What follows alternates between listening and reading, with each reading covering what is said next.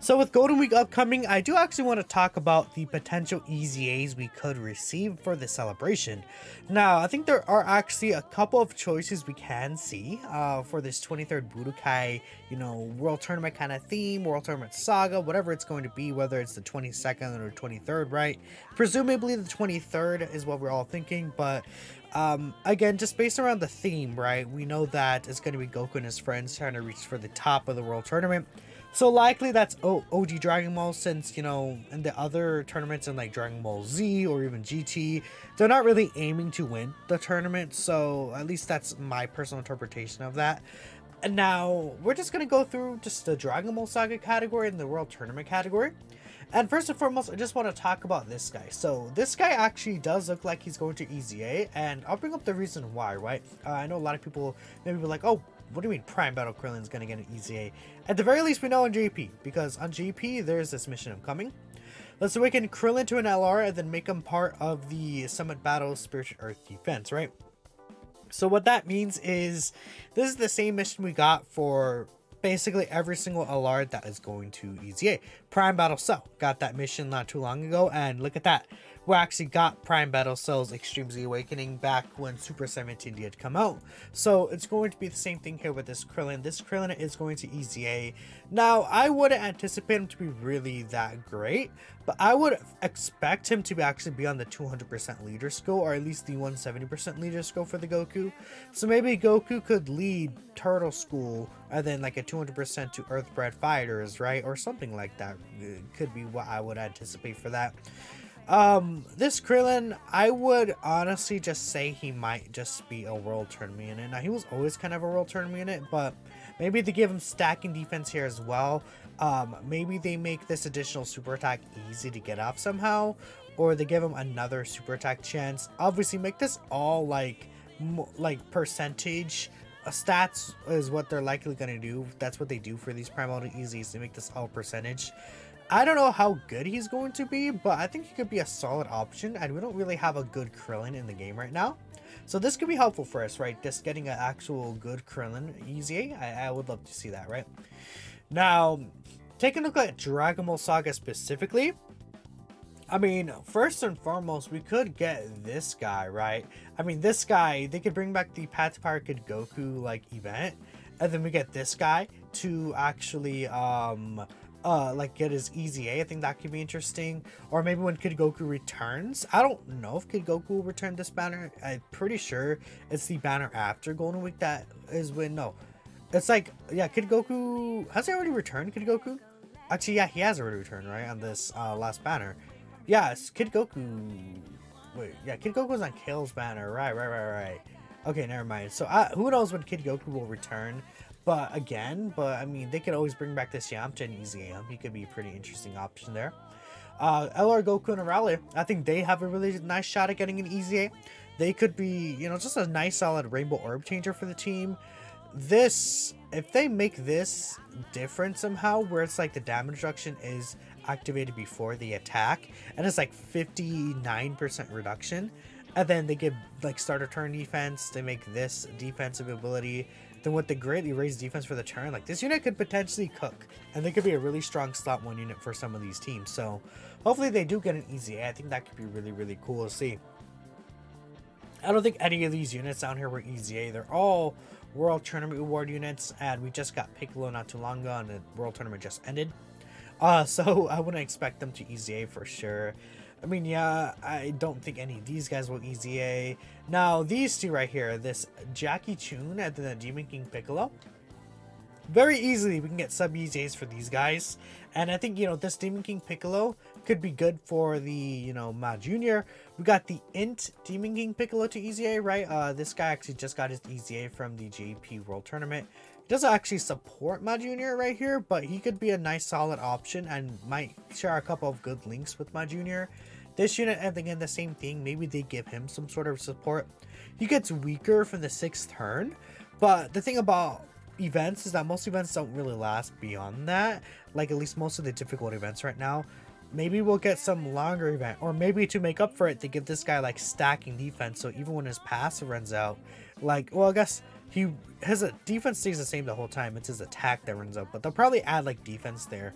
Um, that could be interesting, but I could see that you know he's like stacking maybe like stacking attacking defense or something, or just stacking defense so that after the buff runs out, maybe he's least less weak. You know, um, I, I should explain it. He's less strong offensively, but then better defensively, right? Is what I'm trying to say, right? Could be an interesting, you know, thing for this guy.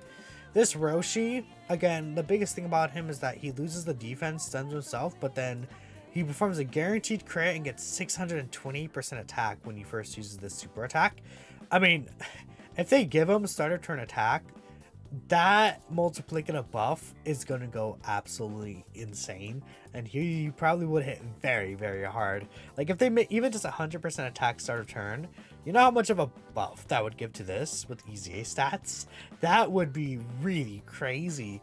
Um, and then what they could do maybe is that after he does the Mafuba, make him like have damage reduction or something. So like while obviously the Mafuba doesn't do that mega damage, like after that first turn where he uses this ability, he's able to, um, you know, essentially have a, how do I explain it? Like damage reduction, or maybe just always damage reduction, just in general, so that you know he just loses the defense, but he still has the reduction, right? That could be really good. Um, beyond that, like beyond these two guys getting their EZA, like who else could EZA here? We just got this Bulma EZA, which is a quite solid option. Again, yeah, I don't really see anyone else here in Dragon Ball Saga getting an actual EZA, so that's the thing about that. Now, World Tournament has some extra options for EZAs, right, that they could definitely just put out for us, especially if we get a new World Tournament category. And I wouldn't honestly say anyone here either. I mean, maybe this guy gets an EZA for some reason, right? The Super Saiyan 2 Great Saiyan Man. Like, they add a Hero Extermination event, stays there, and he can get an EZA. Um, and then who else could he EZA with? I don't know. They usually do, like, batches of two at a time. Yeah, I'm not sure who else they would do that Gohan with. Uh, that's like a unit you could actually summon, not from what I'm taking a look here. But there's two super strikes here that I think could potentially get an awakening, and that is this right here. So we have the Jackie Chun, which is again we have the LR Jackie Chun that just got EZA'd, but this guy could obviously still awaken and easy as well. Um, he's a tech type support, so I mean, if the new like you know Goku's tech type, and then this guy supports him for like you know 35% attacking defense and some key, that could be interesting. Uh, he does the Bankoku Bikkuri Shou, which is not obviously the way. This guy is from the wave. I almost said wave, but the Evil Containment wave. This guy's obviously from the 21st Budokai Tenkaichi from when he fought Goku. And um, this has been like, you know, he was holding Goku in the sky, and then Goku actually saw the moon and stuff like that, right? Then there's this Tao, which I think could be more uh, like of an option, right?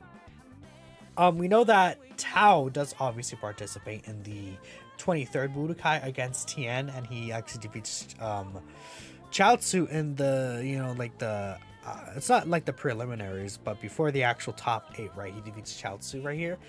Uh, he could potentially get an easy A. It makes sense because, like, I, I would as assume if it's like the 23rd Budokai, like, um, let me actually bring it up here. There's an image for that. But if it's a 23rd Budokai, I would assume all the participants is going to be like represented in some way or another, right? So here is this right here, right? We have all the participants here. I mean, I could see, again, like Tao getting an EZA, and then maybe Chi-Chi, like, gets a free-to-play unit, and, like, a new story event, right? That could be something. And then maybe Goku, and then bounty unit, like, Tien and, um, like, go, or, it could be, like, Yamcha gets a free-to-play unit, I guess, right? And then Goku, who fights Tien and uh, Chi-Chi, those two other bounty units, and then Piccolo who gets Krillin and Shen as his banner units, and so there are the characters that he fought, if that makes sense, right? It's talking more so the banners, but maybe we could see like a Chi-Chi free-to-play unit that EZAs, and then Tao is the only one left out. We could just get Cyborg Tao to have his, you know, uh, Super Strike EZA, and then he could just fit on the team. And I think that could be an interesting option as well, like buffing this World Tournament team and making them quite good. I mean, if we get eight, like, really good World Tournament units, like, this just makes the World Tournament team so much better. I think considering we have Jackie Chun, who's really good, already existing there as a support unit, 50% for the World Tournament category team and 3 ki, right? Could be really interesting. Um, there's not really else anyone that's else here that's good. Wow, I'm like, wow.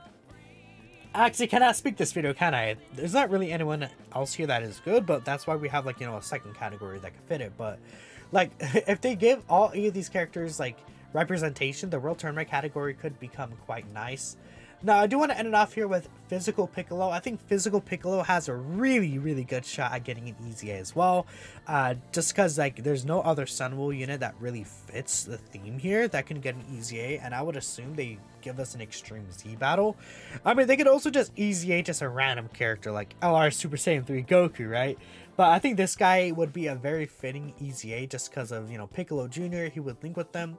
He has the Scouter, he's healing, he stacks defense. Like, he has a really good starting, I mean, like, how to explain it? A really good baseline.